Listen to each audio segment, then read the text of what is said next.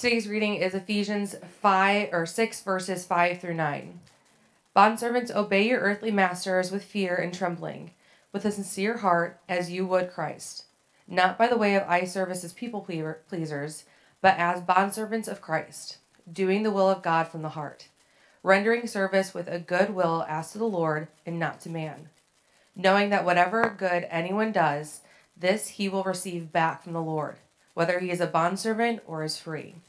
Masters, do the same to them, and stop your threatening, knowing that he who is both their master and yours is in heaven, and that there is no partiality with him. This is the word of the Lord. You may be seated. Thank you, Emily. Uh, before we get started, I'm just going to state the obvious. If you remember, we had a, a power surge from a lightning strike or something, and like the screens are flipping on and off, and you're probably going, hey, does anyone know that's happening? Am I the only one? Like, we know what's happening and we don't know why it's happening. But, uh, you know, it seems like every week we fix something and then something else down the line, you know, does things. So um, we're just grateful that God's given us a building and the heat's on and uh, first world problems. But yeah, so we noticed it. Um, sorry for the inconvenience, but you can also look at the, the notes on the Bible app as we go through uh, the text this morning. Well, this morning we're going to be talking about work. Do you ever struggle with your work? Do you ever do you ever dream about other jobs that you could have? I've recently read an article about some like dream jobs that you might not know exist, like being a Lego builder. Like you could be paid to build Legos. Uh, if that doesn't float your boat, uh, there's actually a water slide tester. Like you can travel the world, make like $25,000 to, to rate water slides on the biggest splash and the adrenaline factor. You ever dream about like that job? That would be a fun job.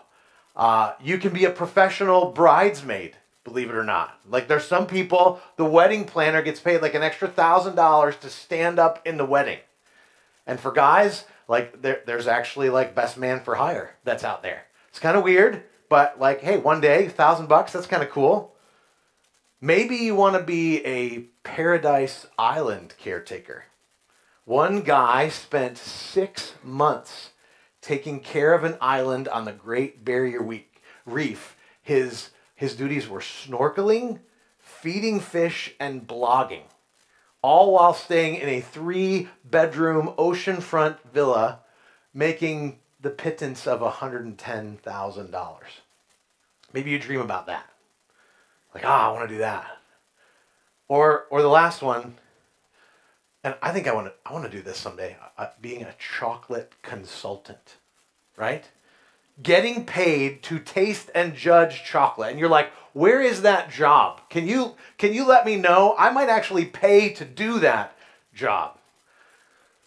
You know, oftentimes when we are dreaming about other kinds of jobs, other kinds of employment, other occupations, it's because we find ourselves in a situation in which maybe we don't feel paid enough, maybe we're in a, a work environment where the, the bosses aren't easy to work for and there's challenge there.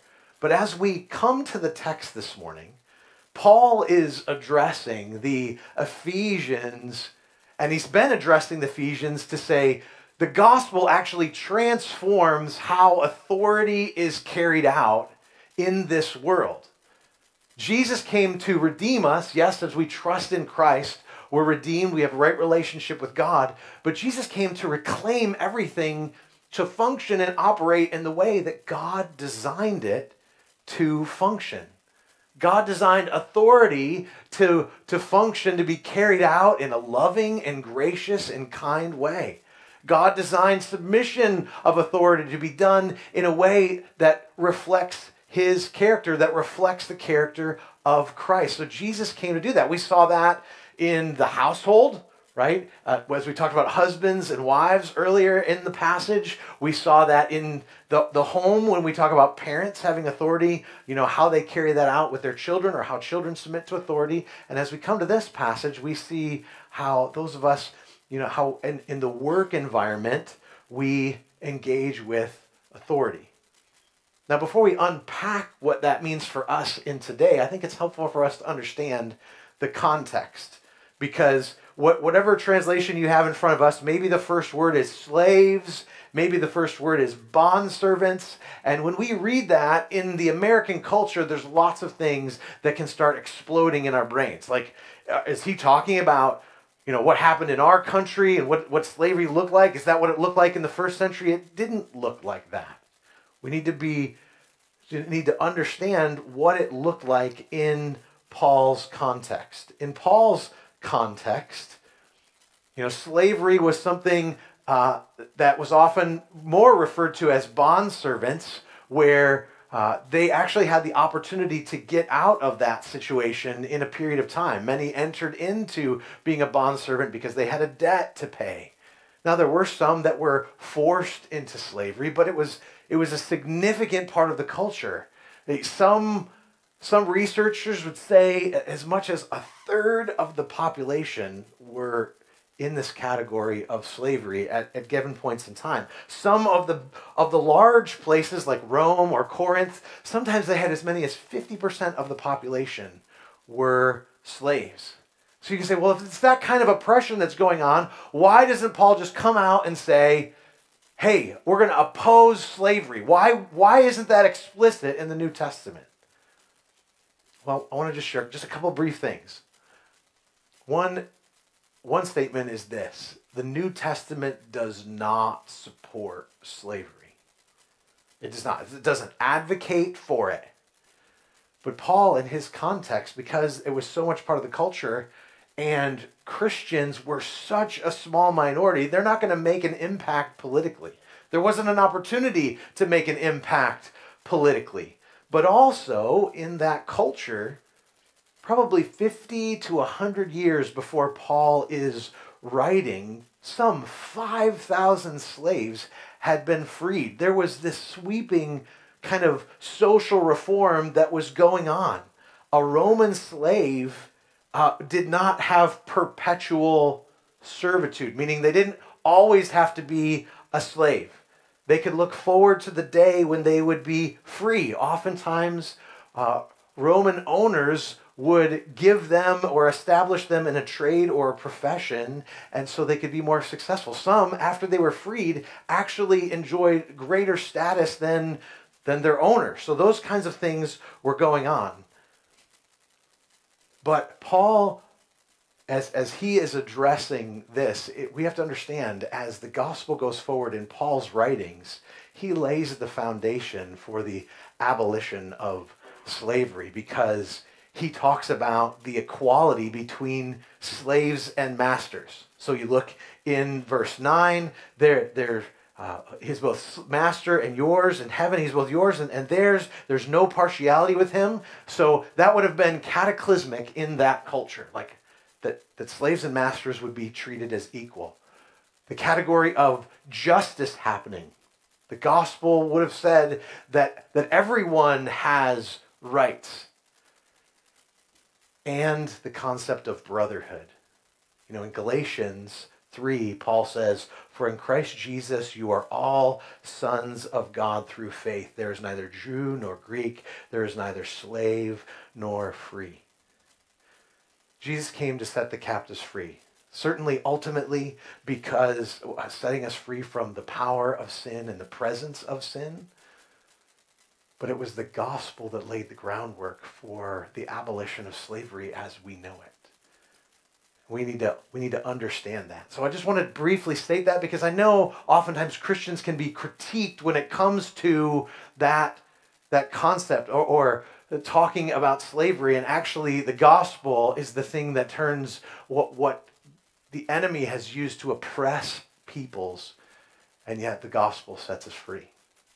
So that's just kind of the framework, the foundation, the, the background of as Paul's talking to those who are slaves. But he's saying, look, as you are in the place that you are, regardless of where God has you, do you see Christ? Do you trust that Christ is behind all things? Do you trust that Christ is upholding the universe by the word of his power? Do you trust that, that God's authority stands behind every authority? And specifically when it comes to our workplace, because even as you look at this passage, if you look back at your Bibles, in each verse, Jesus is referenced. And remember, this verse comes after what we found in the beginning of the chapter, or the beginning of chapter 5, that says, Therefore, be imitators of God as beloved children, and walk in love as Christ loved us and gave himself up for us. So Christ has to be in view. You're not going to understand this passage if you don't have Christ in view. In fact, it's going to be hard to swallow some of the things that Paul says if you don't surrender your life to Jesus. The call is to completely surrender our lives to Christ. So we, as we surrender our lives to Christ, then as, as we engage in work, we engage with Christ in view. Look at verse 5. It says, as you would Christ. Verse 6, as servants of Christ. Verse 7, as to the Lord. Verse 8, this you will receive back from the Lord. Verse 9, you both have the same master in heaven. So Jesus is in view. So whether you're a slave or a master, whether you're an employer or an employee, whether you're a teacher or a student, Jesus Christ is your ultimate master. Because as we come to Christ, we become slaves of Christ. Not slaves to one who is oppressive, but the one who left his rightful place and gave his life for us. That's the one we surrender our lives to. That's the one we say, I'm going to be a servant of Christ. Just like Paul said it, just like Peter said it, just like James said it in the New Testament. I'm a bond servant of Christ. I'm going to follow Christ wherever you call me to go. So when you go to your place of work, no matter what your role is, you are surrendered to Christ. So we work as unto Christ. Christ is in view. We're as it said in 5 chapter 5 verse 21 we're submitted to one another out of reverence for christ. We could say it like jesus is really your boss when you go to work. Jesus is the one who you are submitted to. Now listen i, I understand you know having worked in the secular workforce uh, prior to being a pastor i get when you go to work sometimes and you have a work situation that's just hard or a boss that's just a jerk, you're like, I know I'm supposed to work for Jesus, but it sure feels like I'm working for them. Do you feel that? Do you feel that when you go? You're like, yeah, it sure feels like I'm working for them.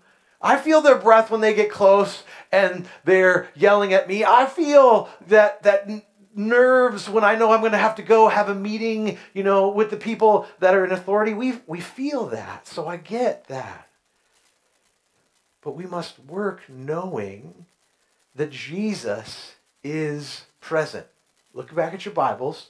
We want to work, we want to glorify Christ by working respectfully. Look at what it says. It says, Slaves, obey your earthly masters with fear and trembling. Now, this doesn't mean like we, we should go to work like shaking in our boots and I don't know if I want to be there. That, that's not what he's talking about. He's saying go with a reverence for the position that's in authority over you.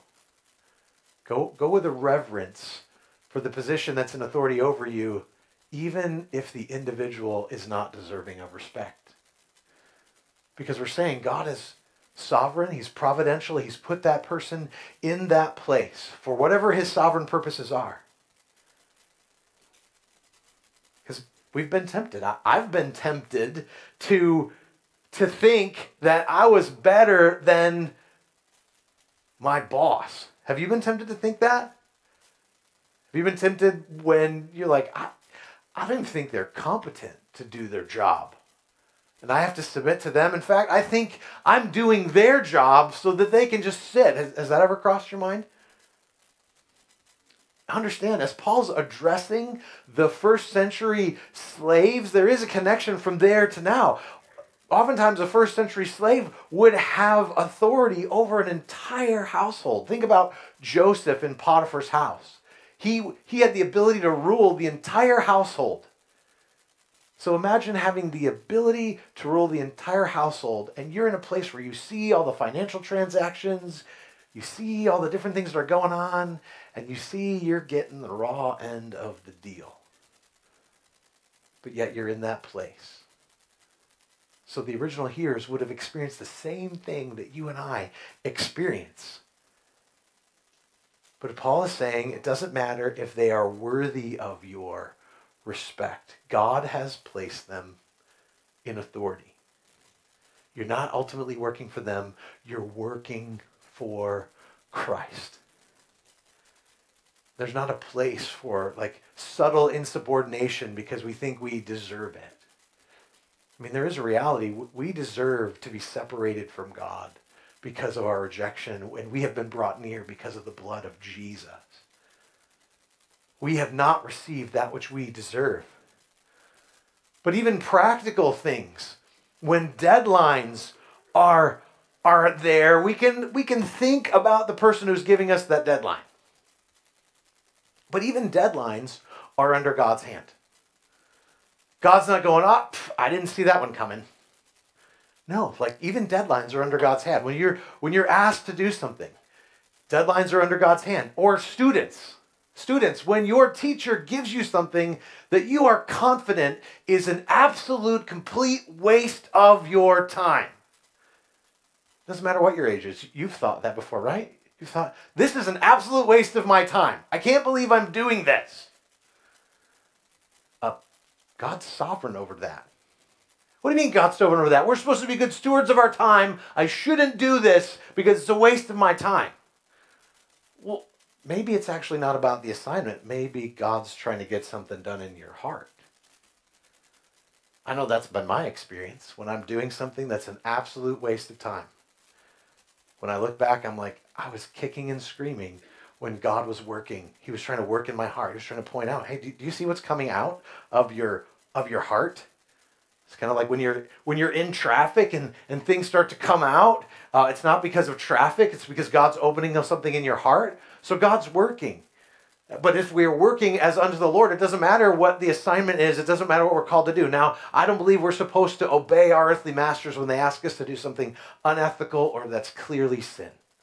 That's not what's in view here. But we work knowing that Christ is the one we're working for. We glorify Christ by working respectfully. We glorify Christ by working wholeheartedly. Look back at your Bibles.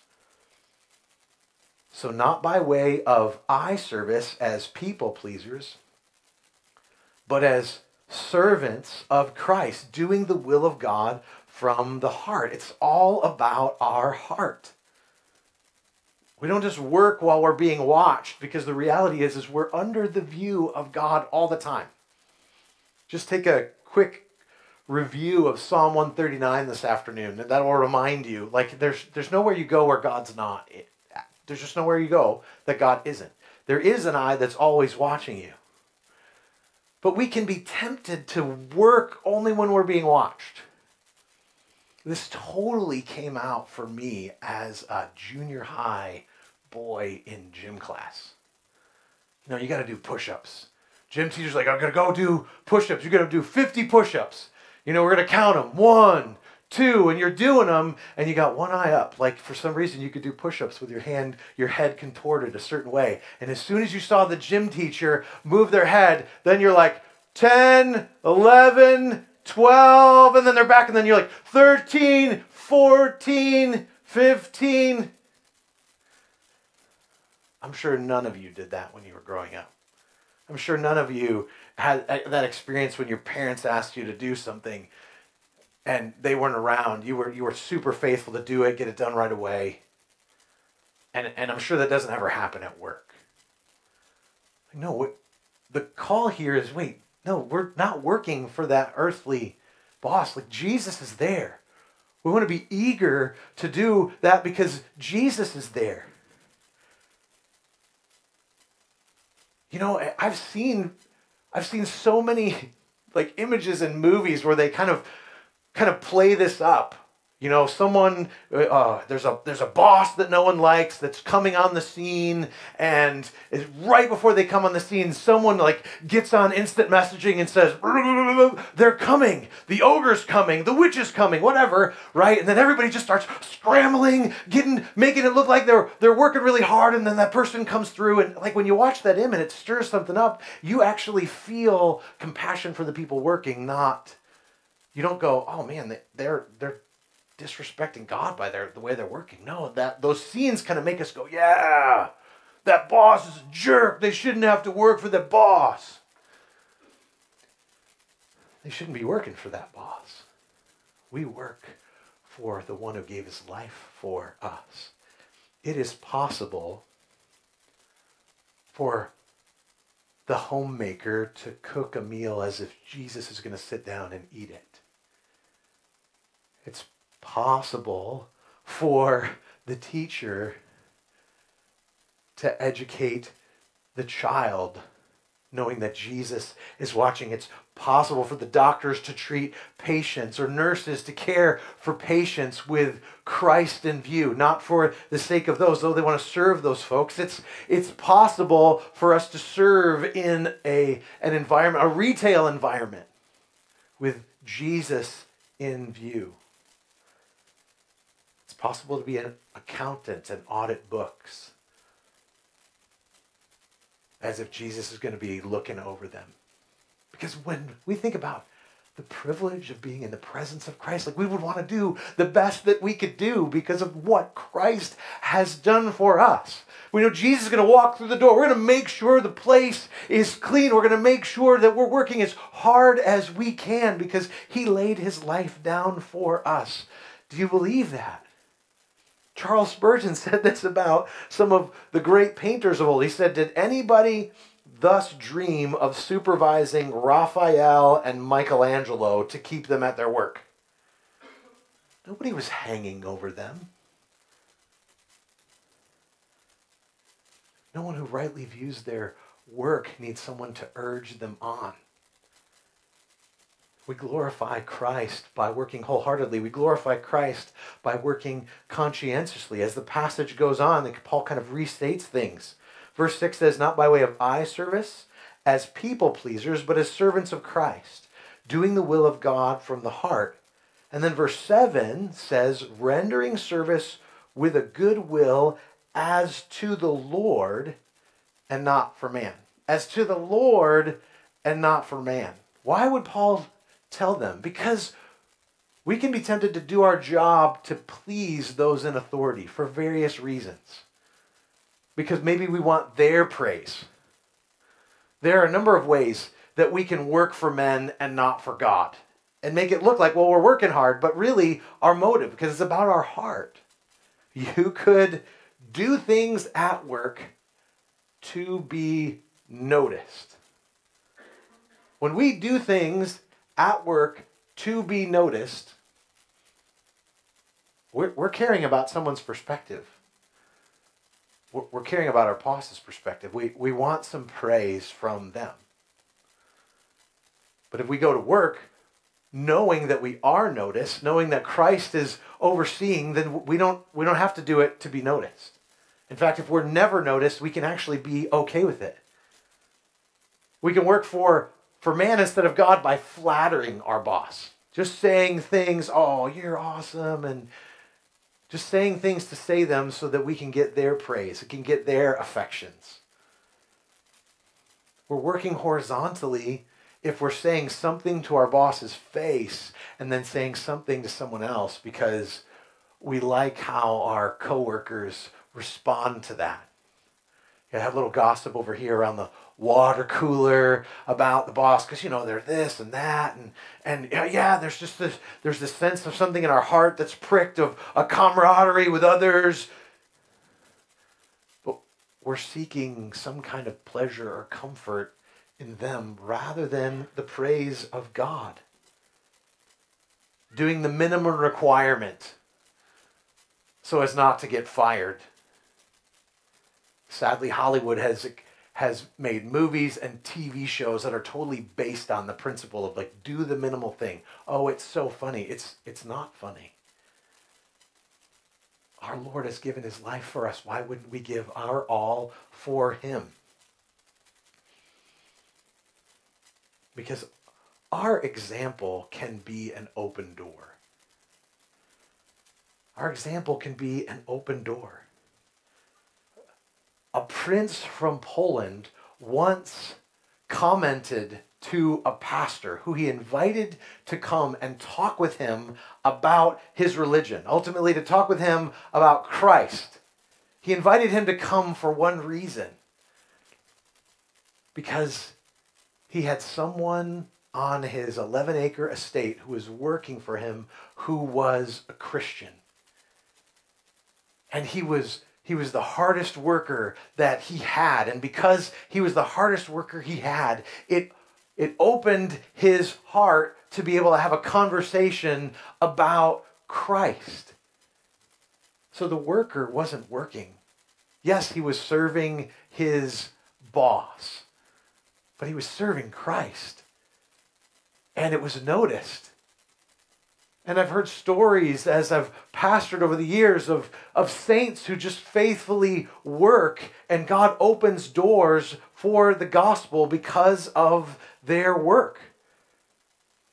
Because they're working for the Lord. I know a story of a guy who was called into his boss's office to uh, have a meeting. And he's like wondering, ah, why did I do something? I'm not sure just kind of category, like going through.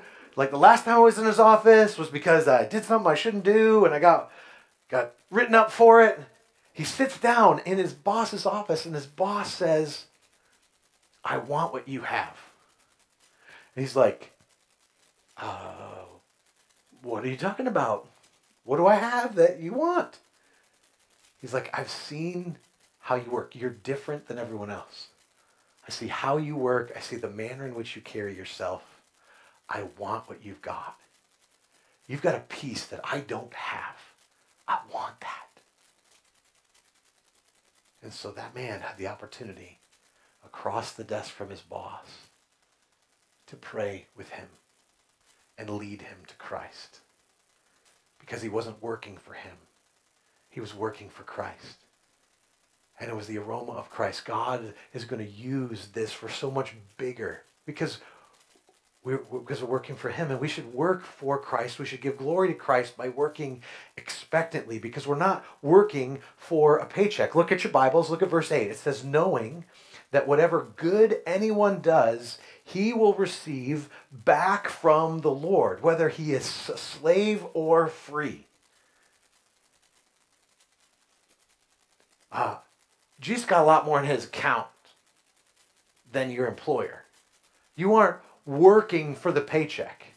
Now, granted, I, I don't think this passage is telling us to go to work and say, hey, hey, you don't have to pay me anymore. I'm working for Jesus. God does use human means to provide for us. It's, it's a means of grace that we, we get a paycheck uh, to pay for things. I'm grateful for that. In fact, if you Uh, I would encourage you make as much money as you possibly can so that you can be as absolutely generous towards the mission as you possibly can. But ultimately, we're not working for a paycheck. We're working for Christ because the rewards that we get uh, in eternity with Him far exceed anything that you're getting right now.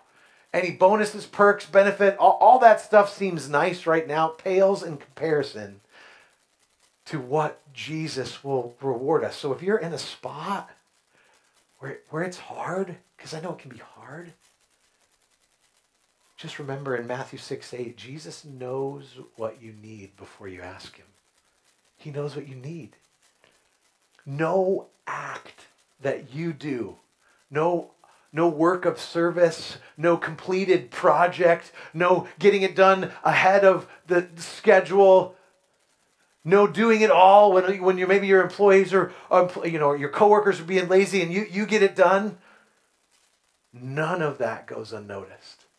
Every single thing is noticed and you will be rewarded. The words you want to hear are not hey here's a good evaluation every year though I think that is the fruit of one who is, is working diligently, and you will hear that. The words we want to hear are well done. Well done, thou good and faithful servant. We're working to hear those words. We hear those words because of what Christ has done. We're, we're looking forward to that because our work is not our identity. We go awry when our work becomes our identity. Because, but your work can't fulfill you. A larger paycheck can't fulfill you. Only Jesus can fulfill you. And he does. When we work with our eye on the eternal prize, it changes how we work. It changes how God's opened doors. Now, this passage doesn't simply address those who are working under authority, he also addresses those who are given authority. Those who are given authority. And if you are given the privilege and the responsibility to have authority, we, we treat those under our authority as we would Christ as we would Christ. Look back at your Bibles. It says, Masters, do the same to them and stop your threatening, knowing that he who is both their master and yours is in heaven, and that there is no partiality with him. Masters, do the same to them. You can almost hear Jesus words saying, and, and as you wish others to do to you, do also to them. The golden rule. If you want employees to work hard, are you working hard? If you want someone who's working under your leadership to be conscientious, are you conscientious? Or if you're wanting someone to be pleasant, are you displaying being pleasant? We work by example. Do unto others as as you would have them do unto you. That is in play here because just like, yeah, do the same to them. Like the, the manner in which they're working, you work the same way. Just remember, Jesus is your boss. Even if you are at the top in your company, even you, maybe you own the company, maybe your name is on the title of the company. Nope, just like them. You still have someone that you're submitted to because you're submitted to Christ. So we we do this, we we lead, we oversee by not threatening. So if you see here in the Bible, it says, Master to them, same to them, and stop your threatening. Your threatening. We glorify Christ by resisting the impulse to threaten. Now we can quickly run past that because you're like, you know, I I don't have a rod at my work. I have never beat anyone. Like that's just not happening in our workplace. So, you know, because I don't do that, I'm not just we're just going to move on from that. Listen, threats are sadly used as as weapons by those who are powerful to wield their power for their purposes. But that is not the way that Christ has has wielded his authority. Christ came to serve. He didn't misuse his authority. You know, there, there's, there's, there's a place for consequences. Yeah, there's a place for an employee manual and a place uh, for there to be uh, clarity on, on things that would happen if you choose to mismanage things or you don't do your job well or you don't show up for work. There's a place for those things but there's not a place to misuse one's authority. I, a young lady, a friend of our family, called me recently. She's a, a nurse and she's working in a, a, hospital setting and she works the second shift because that's what she prefers. I, I, don't know why you would want to do that, but for her, that like that's perfect for her. And she's like, I, I, I've been working and I've been working some of the first shifts. I signed on to work the second shift. Uh, and I was I was able to work a few first shifts, and they're really in need, and they've come to me and they've said, "Hey, look, you've got to work this other shift, or we're going to cut your hours." She's like, "What sh- what should I do?" They were threatening her. Now, there wasn't physical abuse in view here, but they were like, no, you've got to work it. There wasn't a conversation.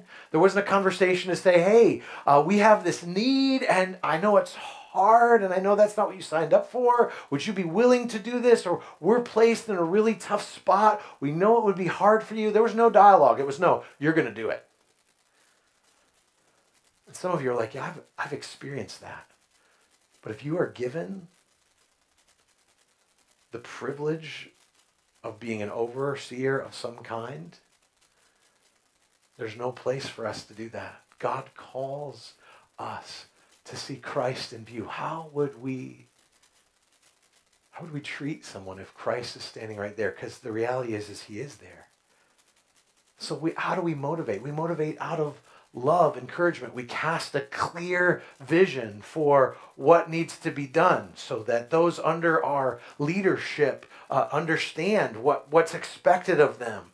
When we bring evaluation, we come graciously. We don't come with, okay, it's time for me to bring down the hammer. You know, you have regular conversation. You want them to know you're for them. You work to help them to grow.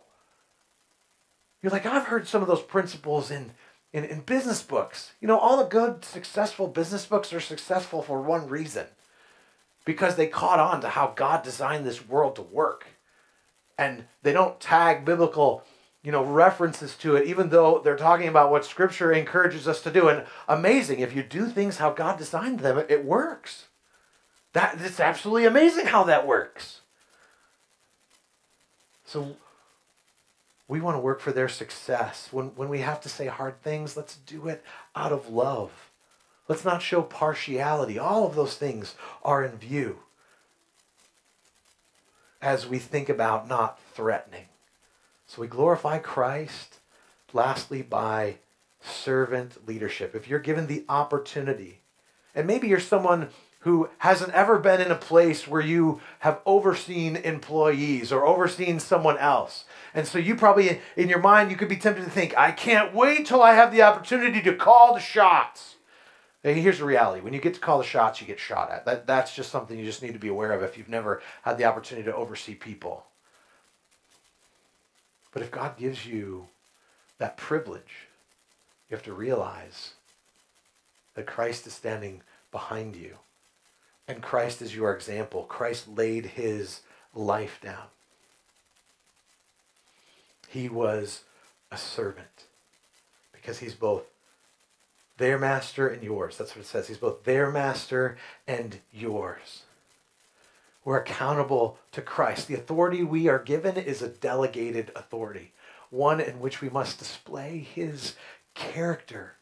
And it's a weight, but it's a privilege. We have a privilege to show others Jesus. And so many of you are doing that at your workplaces. I love having conversations with you about the struggle that you have, but yet you're committed to Christ. You're committed to display Christ. And sometimes it means you have to work longer, you have to work harder, you just carry burdens that others don't carry because some who go to work that don't know Jesus, they don't care. But why is it hard? Because you care, because Jesus has changed your heart. So as you go, and it's hard, we look to Jesus, the founder and perfecter of our faith, who for the joy set before him endured the cross, despising the shame. So we look to Christ as it's difficult. And for us, as we are servant leaders, we're, we're going to ask for input. Jesus did it perfectly. So he didn't have to go, hey, did I make any mistakes here? No, he was perfectly submitted to the Father. But we make mistakes. And so it's good for us to be humble and, and in uh, us displaying humility and asking for input, we are displaying Christ. So if you're if you're a boss, remember the King of Kings stands behind you. The King of Kings stands behind you, and, and we would reverence him, but the King of Kings stands behind you, and he is with you always to the end of the age.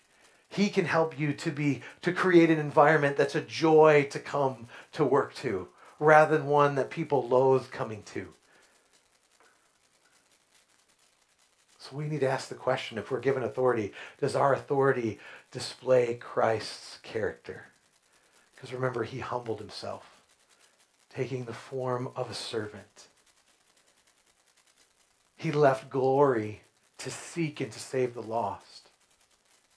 He sacrificed himself and endured suffering. There are going to be times that those under your authority are going to make mistakes and you're going to get it from your superiors because of their mistake.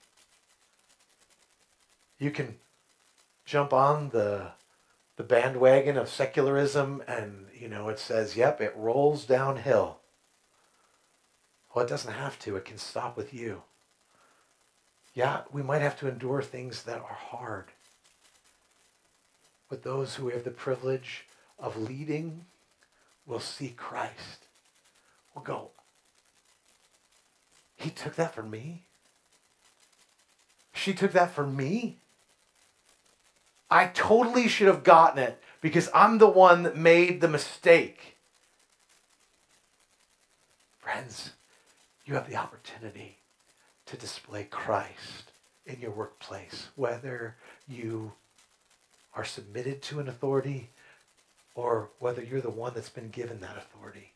We have the privilege that all of life, whether in family or in ministry, is immensely significant. It is not mundane.